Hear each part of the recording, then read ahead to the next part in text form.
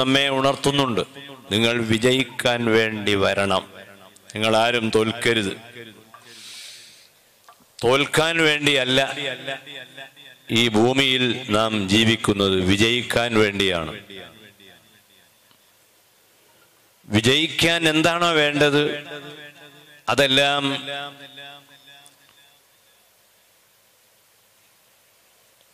ഓരോന്നിനെയും പറ്റി അറിയുന്നവരുമായി ബന്ധപ്പെട്ട് മനസ്സിലാക്കുകയും അത് പ്രവർത്തനത്തിൽ കൊണ്ടുവരികയും ചെയ്യുക എന്നതാണ് നമ്മുടെ എല്ലാവരുടെയും ബാധ്യത. മുസ്ലിമീങ്ങൾ മാത്രമല്ല എല്ലാ മതത്തിലും പെട്ട ആളുകൾ ബഹുമാനിക്കുന്ന ഒരു മക്കാമാണ്.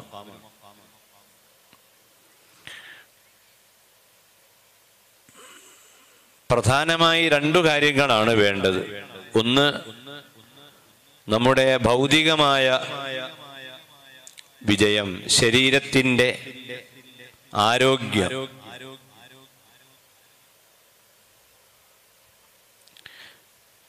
താമസിക്കാൻ ഒരു നല്ല വീട് സഞ്ചരിക്കാൻ ഒരു വാഹനം സ്വകാര്യങ്ങൾ പങ്കുവെക്കാൻ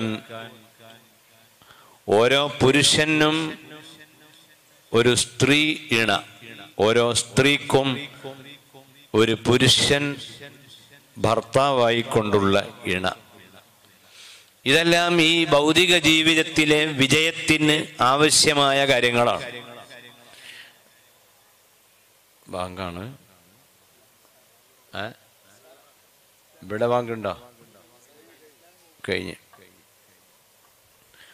അതുകൊണ്ട് ഭൗതികമായ വിജയം അത് പരലോകത്തിന്റെ വിജയം ലഭിക്കാൻ അനിവാര്യമാണ്. ഇവിടെ ആവശ്യമുള്ളതെല്ലാം നേടിയില്ലെങ്കിൽ പരലോകത്ത് നമുക്കൊന്നും കിട്ടുകയില്ല. പരിശുദ്ധ ഖുർആൻ രണ്ടാം അധ്യായം ഇരുന്നൂറ്റി ഒന്നാം വാക്യത്തിൽ പറയുന്നത് കാണാം.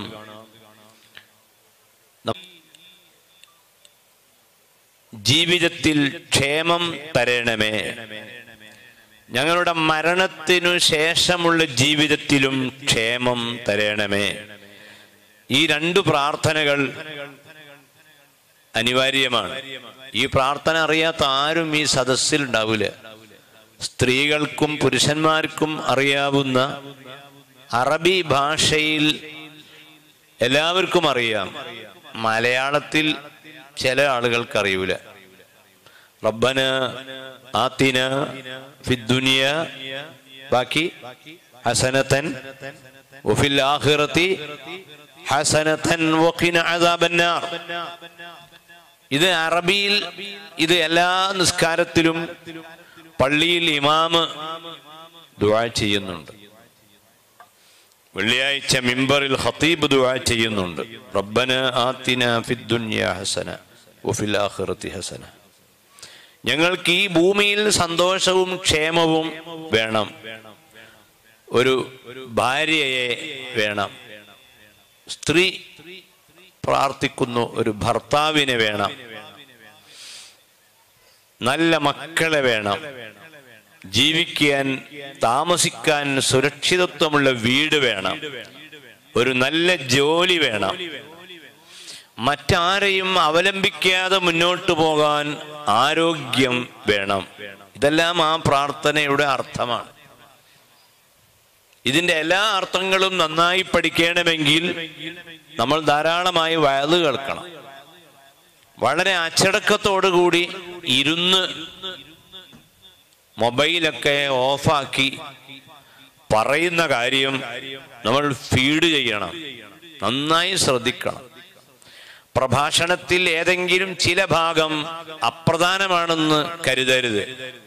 അപ്രധാനമെന്ന് നാം കരുതുന്നതായിരിക്കും ഏറ്റവും പ്രധാനമായി നാളെ പരലോകത്ത് വരിക. ഒരാൾ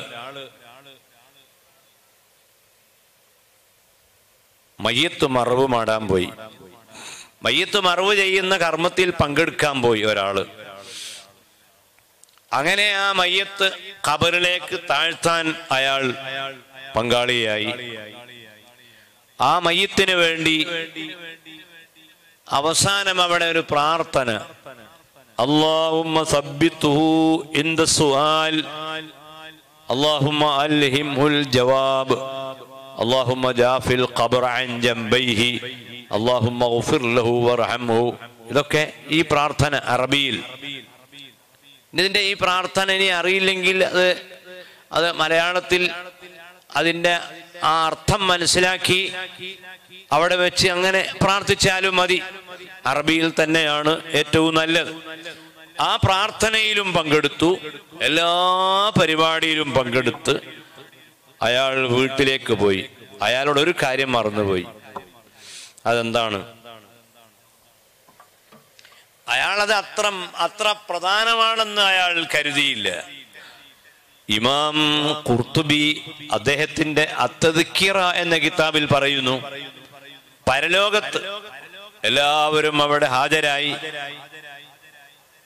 അവിടെ പാപങ്ങൾ കൂടുതൽ ഉണ്ടാവുകയും നന്മകൾ കുറയുകയും ചെയ്താൽ മനുഷ്യനെ ശിക്ഷിക്കും.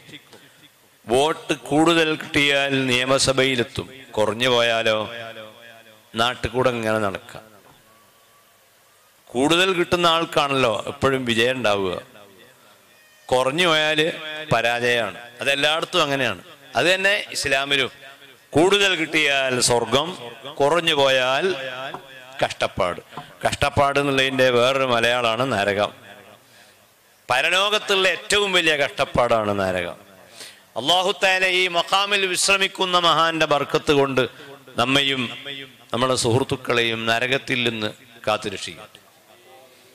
അങ്ങനെ നന്മകൾ കുറവും തിന്മകൾ അധികവും ആയിക്കൊണ്ട് പരലോകത്ത് ഒരാൾ വന്നു.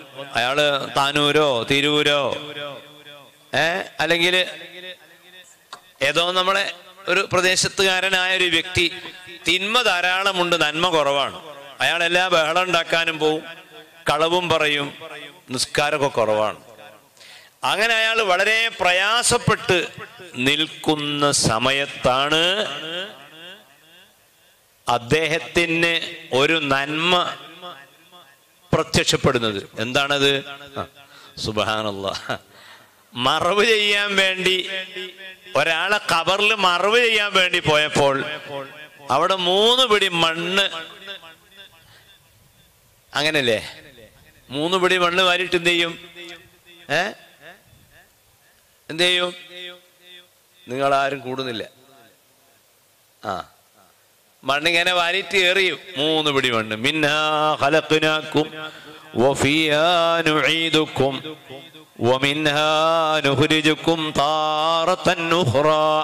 മൂന്ന് പിടി മണ്ണ് വാരി.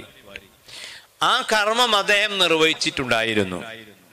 അങ്ങനെ ആ മനുഷ്യൻ നന്മകൾ കുറയുകയും പാപങ്ങൾ വർദ്ധിക്കുകയും ചെയ്ത് പ്രയാസപ്പെട്ട് നിൽക്കുന്ന സമയത്താണ് ഈ മൂന്ന് പിടി മണ്ണ് വാരിയിട്ട ആ കർമ്മം പരലോകത്ത് പ്രത്യക്ഷപ്പെടുകയും അങ്ങനെ ആ മനുഷ്യൻ സ്വർഗത്തിലെത്തി അതിന്റെ അപ്പുറത്ത് വേറൊരാൾക്ക് എല്ലാ കർമ്മവും ഉണ്ടായിരുന്നു.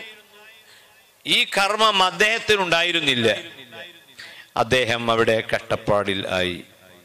ഈ സംഭവം കിതാബുകളിൽ ഉദ്ധരിച്ചിട്ടുണ്ട്. ഒരു സലാം പറഞ്ഞാൽ തൊണ്ണൂറ് പുണ്യമാണ്. ഒരു സലാം പറഞ്ഞാൽ തൊണ്ണൂറ് പുണ്യം. ഒരു സലാം മടക്കിയാൽ പത്ത് പുണ്യം. അവ രാവിലെ മുതൽ വൈകുന്നേരം വരെ നൂറ് സലാം പറയുമ്പോൾ നൂറെ പെരുക്കണം തൊണ്ണൂറ്. സുബാനല്ലോ എത്രയായി? ഒമ്പതിനായിരം പുണ്യങ്ങൾ ഒരു ദിവസം. ഒരു ദിവസം ഒമ്പതിനായിരം പുണ്യം. നൂറ് സലാം പറഞ്ഞാൽ അങ്ങനെ ഓരോ ദിവസവും പുണ്യങ്ങൾ ഇങ്ങനെ വർദ്ധിച്ച് ആ പുണ്യങ്ങൾ വർദ്ധിച്ച് പാപങ്ങളൊക്കെ പശ്ചാത്തപിച്ച് മടങ്ങി വിജയിച്ച ആളാണ് ഈ മക്കാമിൽ വിശ്രമിക്കുന്ന വലിയവറുകൾ. പാപങ്ങൾ ഉണ്ടെങ്കിൽ എല്ലാം പൊറുക്കല്ലെ തേടി ക്ലിയറായി പാപം തീരെ ചെയ്യാതെ തന്നെ സുരക്ഷിതമായ ജീവിതം നയിക്കുന്ന ആളുകൾ ആണ് ഔലിയാക്കൾ. അല്ലാഹ് ലാ ഖൗഫുൻ അലൈഹിം യഹ്സനൂൻ. അതുകൊണ്ട് അപ്രധാനമെന്ന് യാതൊന്നിനെയും പറ്റി കരുതാതെ എല്ലാം പ്രധാനമാണ് എന്ന വിചാരത്തോടുകൂടി സദസ്സുകൾ അലങ്കരിക്കുക. ഞാൻ പറഞ്ഞു വരുന്നത് ഭൗതിക ജീവിതത്തിൽ വിജയത്തിന് വേണ്ടതൊക്കെ നമ്മൾ ഇവിടെ കരസ്ഥമാക്കണം. അത് കരസ്ഥമാക്കണമെങ്കിൽ നാം സ്കൂളുകളിൽ പഠിക്കണം. കുട്ടികളെ സ്കൂളിൽ പറഞ്ഞേക്കണം. മദ്രസയിൽ പോകലോ അത് സ്കൂളിനേക്കാൾ പ്രധാനമാണ്. സ്കൂളിൽ പഠിക്കാൻ വിട്ടുപോയാലും അത് അനൗപചാരികമായി നമുക്ക് വായിച്ച് പഠിക്കാം. മദ്രസയിൽ പോയി പഠിച്ചില്ലെങ്കിൽ അത് നഷ്ടപ്പെട്ടു പോയാൽ എന്നൊന്നും നഷ്ടമായിരിക്കും. അപ്പോൾ ഭൗതിക ജീവിതത്തിലേക്ക് ആവശ്യമുള്ളതെല്ലാം ഇവിടെ നേടുക. ജോലി വേണം ഭാര്യ വേണം വീടില്ലാത്തവർക്ക് വീട് വേണം. പുറമ്പോക്കിൽ വീടുണ്ടാക്കിയാൽ ബുൾഡോസർ വന്ന് ആ വീട് അവിടെ നിന്ന് എടുത്തു കൊണ്ടുപോകും ആസാമിലും ലോക ഇന്ത്യ രാജ്യത്തിന്റെ പല ഭാഗങ്ങളിലും വീട് നഷ്ടപ്പെടുന്ന ധാരാളം ആളുകളുണ്ട്. അതിലധികവും വീടുണ്ടാക്കാൻ പറ്റാത്ത സ്ഥലങ്ങളിൽ വീടുണ്ടാക്കിയതിന്റെ പേരിൽ അത് പൊളിച്ചു മാറ്റുമ്പോഴാണ് ബുൾഡോസർ വരുന്നത്. കുറെയൊക്കെ അന്യായമായും ആ നാടുകളിലുള്ള ഗവൺമെന്റ് ചെയ്യുന്നുണ്ടാകും. എന്നാലും പ്രധാനമായും അധികമായും സംഭവിക്കുന്നത് സ്വന്തം ഭൂമിയിൽ അല്ലാതെ വീടുണ്ടാക്കിയ കേസുകൾ ധാരാളമാണ്. അത് പാടില്ല. നമ്മളെല്ലാവരും കഠിനാധ്വാനം ചെയ്ത് ഈ കടലിന്റെ തീരത്തുള്ള ആളുകൾക്കുള്ള ഒരു പ്രത്യേകത നന്നായി അധ്വാനിക്കുന്നവരാണ്. നന്നായിട്ട് അധ്വാനിക്കുന്ന ആളുകളാണ്. അധ്വാനത്തിന്റെ അടയാളം അവരുടെ കൈകളിൽ തഴമ്പായിട്ട് ഇങ്ങനെ കാണാം. ഈ അധ്വാനശീലരായ ജനങ്ങൾ ഈ ലോകത്തിന് ഈ ലോകത്തെ ജീവിതം മറ്റൊരാളെ അവലംബിക്കാതെ ജീവിക്കാനുള്ള എല്ലാ കാര്യങ്ങളും ഇവിടെ നേടിയെടുക്കുന്നത് വരെ വിശ്രമിക്കരുത്. അങ്ങനെ രോഗങ്ങൾ വരാതിരിക്കാൻ ശ്രദ്ധിക്കണം. കൈകൾ കഴുകി മാത്രമേ ഭക്ഷണം കഴിക്കാവൂ. വൃത്തിയില്ലാത്ത സ്ഥലത്ത് കിടന്നുറങ്ങരുത്. നല്ല വൃത്തി. മുത്തഹിരീൻ. അള്ളാഹു താല ശുദ്ധീകരണം നടത്തുന്ന ആളുകളെ ഇഷ്ടപ്പെടും. മൂത്രിച്ചാൽ ശുദ്ധിയാക്കണം. മലവിസർജനം നടത്തിയാൽ ശുദ്ധിയാക്കണം. സ്കൂളിൽ പോകുന്ന കുട്ടികൾ അവിടുന്ന് ഉച്ചയ്ക്ക് ഭക്ഷണം ഗവൺമെന്റ് കൊടുക്കുകയാണ്. ആ ഭക്ഷണം കൊടുക്കുന്ന ഭക്ഷണം കഴിക്കുന്ന സമയത്ത് കൈ കഴുകാനുള്ള വെള്ളം ചിലപ്പോൾ സ്കൂളിൽ ഉണ്ടാവില്ല കഴിഞ്ഞ രണ്ട് കൊല്ലമായി സംസ്ഥാന ഗവൺമെന്റ് സർക്കുലർ ഇറക്കി. ഉച്ചയ്ക്ക് ഭക്ഷണം കഴിക്കുന്നതിന് മുൻപ് എല്ലാ കുട്ടികളും കൈ കഴുകേണ്ടതാണെന്ന് സർക്കുലർ വന്നു. ഈ സർക്കുലർ വരുന്നതിന്റെ ആയിരത്തി നാനൂറ് കൊല്ലം മുമ്പ് മദ്രസയിലെ ഉസ്താദുമാരുടെ സർക്കുലറിൽ നമ്മൾ പറഞ്ഞിട്ടുണ്ട് ഏത് ഭക്ഷണം കഴിക്കുമ്പോഴും കൈ കഴുകണമെന്ന് പക്ഷെ അത് മദ്രസയിൽ പഠിപ്പിക്കുന്ന വിഷയമായത് കൊണ്ട് പല ആളുകളും മറന്നുപോയി. സ്കൂളിലുള്ള വിഷയം പത്രങ്ങളിലൊക്കെ വന്നു. ഞാൻ പറഞ്ഞു വരുന്നത് വൃത്തി വേണം. അതുപോലെ തന്നെ എല്ലാ വിഷയങ്ങളിലും നല്ല ക്രമം വേണം. മറ്റു മതക്കാരെക്കാൾ വൃത്തിയും ശുദ്ധിയും അച്ചടക്കവും എല്ലാം ഉള്ളവരായി മാറണം. സഹോദരിമാർ ശ്രദ്ധിക്കുക. കുട്ടികൾ മൂത്രിച്ചാൽ കാട്ടിച്ചാൽ അപ്പപ്പോൾ കഴുകി വൃത്തിയാക്കണം. മൂത്രം നജിസാണ് കാഷ്ടം നജിസാണ്. അങ്ങ നമ്മളെ അങ്ങാടിയിൽ നിന്ന് താനൂരിൽ നിന്ന് തിരൂരിൽ നിന്ന് നമ്മളെ മാർക്കറ്റിൽ നിന്ന് ഇറച്ചി വാങ്ങിക്കൊണ്ടുവന്നിട്ട് അത് വേവിക്കുന്നതിന് മുൻപ് നന്നായി കഴുകണം. എന്നിട്ട് രക്തം കംപ്ലീറ്റ് അതിൽ നിന്ന് നീക്കിയതിന് ശേഷമേ വേവിക്കാവൂ. ഹോട്ടലുകളിൽ പണിയെടുക്കുന്ന തൊഴിലാളികൾ പലപ്പോഴും അതൊന്നും ചെയ്യാത്തത് കൊണ്ട് ആ ഹോട്ടലിൽ വരുന്ന ആളുകളെ നജിസാണ് തീറ്റിക്കുന്നത്. അതിനെല്ലാം കുറ്റം കിട്ടും.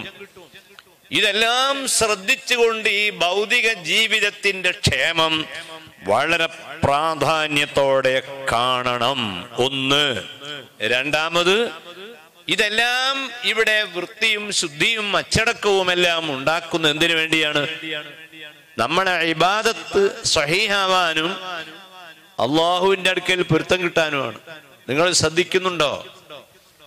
നമ്മുടെ നേതാവ് ഹബീബുന മുഹമ്മദുൻ അലൈഹി വസല്ലം. നബിയുടെ പേരിൽ സ്വലാത്ത് ചൊല്ലിയാൽ പത്ത് പുണ്യം കിട്ടും. മുന്നൂറ് സ്വലാത്ത് എല്ലാ വെള്ളിയാഴ്ചയും ചൊല്ലണം. എല്ലാ ഓരോ നിസ്കാരത്തിന് ശേഷം പത്ത് സ്വലാത്ത് ചൊല്ലാനാണ് നമ്മുടെ ഉസ്താദുമാർ പറയാറുള്ളത്. ഷെയ്ഖുന ഉസ്താദ് അങ്ങനെ പ്രത്യേകം പറയാറുണ്ട്. എല്ലാ നിസ്കാരത്തിന് ശേഷം പത്ത് സ്വലാത്ത് ചെല്ലാൻ. ആ സ്വലാത്തുകളിൽപ്പെട്ട ഒരു സ്വലാത്താണ് ആ മുത്തുനബിയുടെ പേര് പറയുമ്പോൾ സയ്യിദുന ഹബീബുന റസൂലുള്ള സ്വലാത്തില്ല. ആ നേതാവ് ആ നേതാവിന്റെ അടുക്കൽ എല്ലാ സമയത്തും ഒരു മലക്ക് വരും ജിബിരിയിൽ ഒരു ഒരു ഒരു പ്രധാനപ്പെട്ട മലക്ക് മുത്തുനബിയുടെ അടുക്കൽ എല്ലാ ദിവസവും വരും. ജിബിരിൽ അലൈഹിസ്സലാം നമ്മൾ നിസ്കാരത്തിൽ സഫായി നിൽക്കുന്ന സമയത്ത് നമ്മൾ പല്ല് തേച്ചിട്ടുണ്ട് എങ്കിൽ ആ മലക്ക് വന്ന് നമ്മെ ഇഷ്ടം അറിയിക്കും. പല്ല് തേക്കാതെ നിസ്കരിച്ചാൽ മലക്ക് വരൂല. എപ്പോഴും ബ്രഷ് നമ്മളെ കയ്യിൽ വേണം. ചീർപ്പ് നമ്മളെ ബാഗിൽ വേണം. കണ്ണാടി നമ്മുടെ കൂടെ വേണം.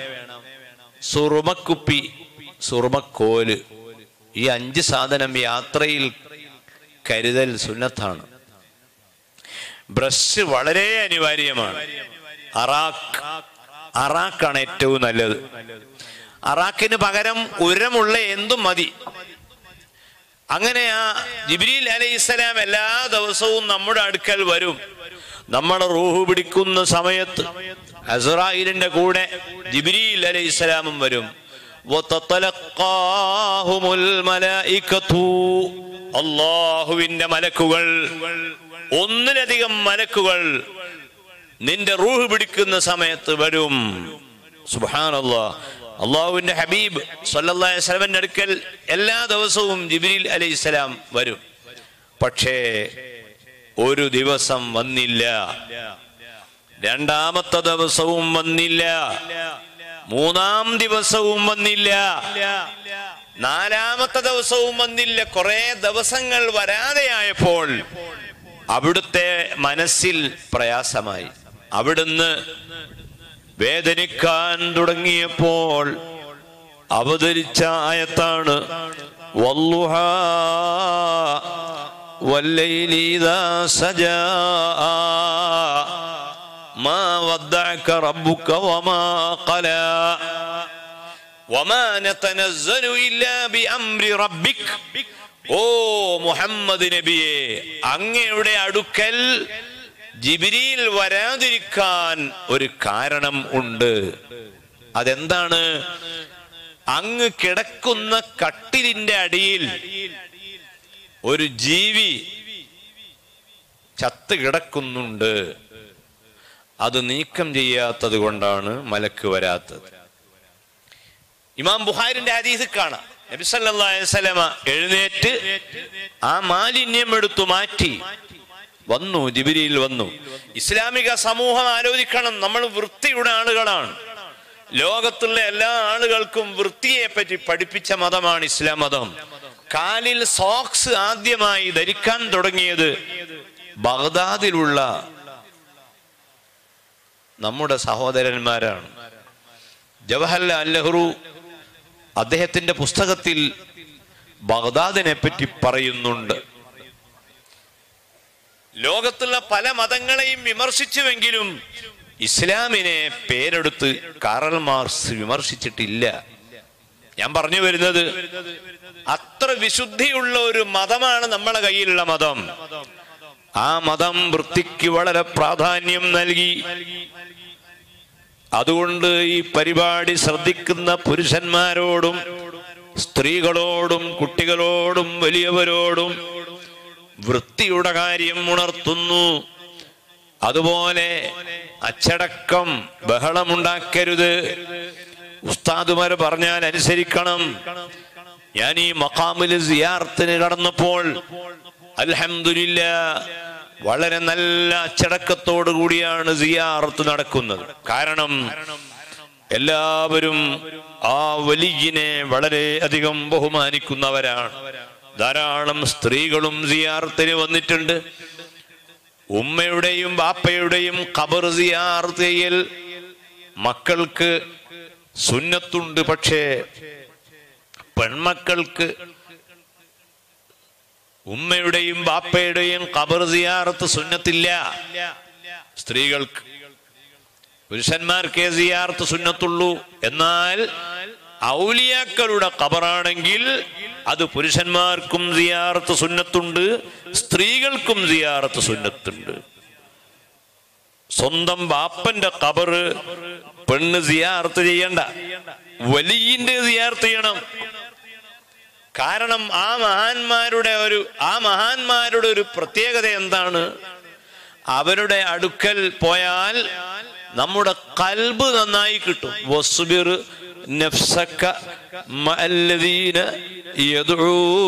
റബ്ബഹും ബിൽ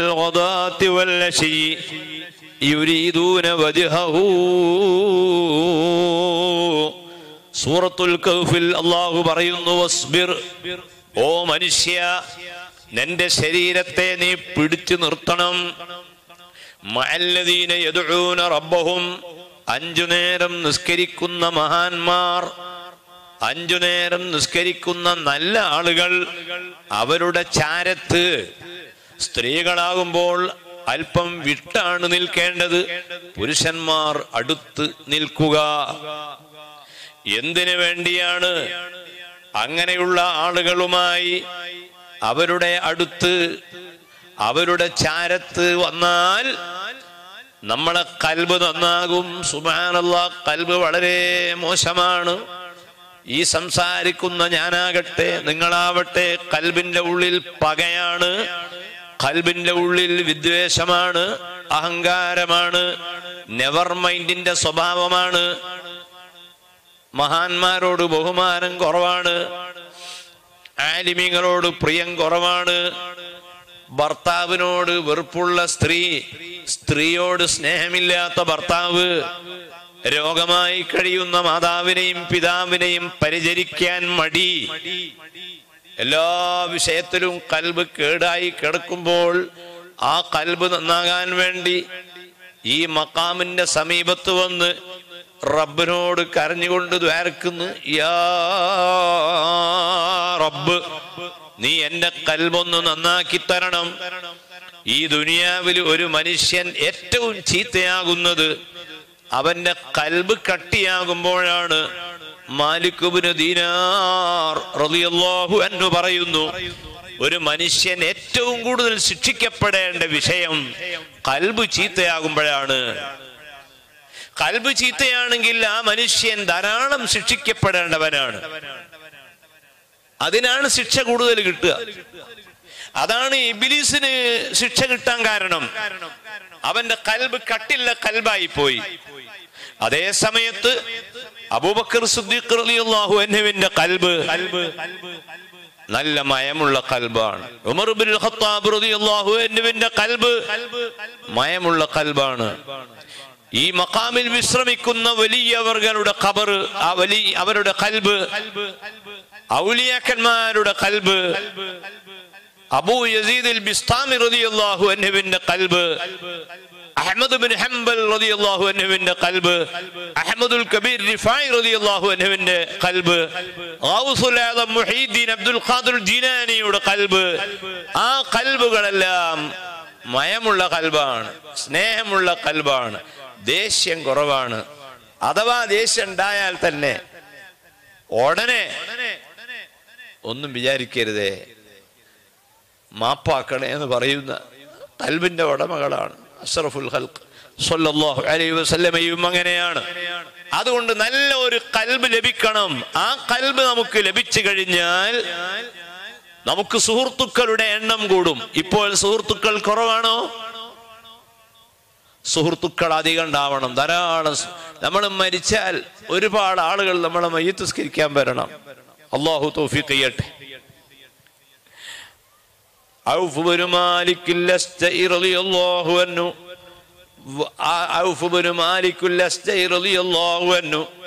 ഹദീസിന്റെ കിതാബിൽ കാണാം. ഇമാം നസായി ഉദ്ധരിച്ച ഹദീസിൽ കാണാം. മദീനയിൽ ഒരാൾ മരിച്ചു. ആ മനുഷ്യൻ മരണപ്പെട്ടപ്പോൾ അദ്ദേഹത്തിന്റെ ജനാസ പള്ളിയിൽ കൊണ്ടുവന്നു. ആ മയ്യത്തിന് വേണ്ടി പള്ളിയിൽ നിസ്കരിക്കുന്ന സമയത്ത് ഇമാമത്ത് നിൽക്കുന്നതാരാണ്